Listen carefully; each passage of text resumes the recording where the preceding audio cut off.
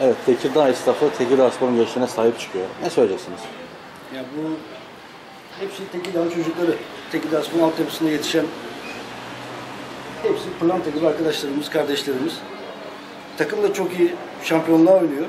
Ya bütün esnafın elinden geldiğince destek çıkması lazım. Siz ilkleri başlattınız. Daha önce birkaç esnaf vermişti. Ne söyleyeceksiniz bu. Herkes taşın altına elini koyması lazım.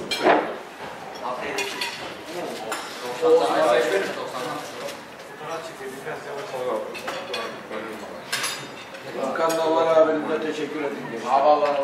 Teşekkürler olsun. Tekirdağ Spor.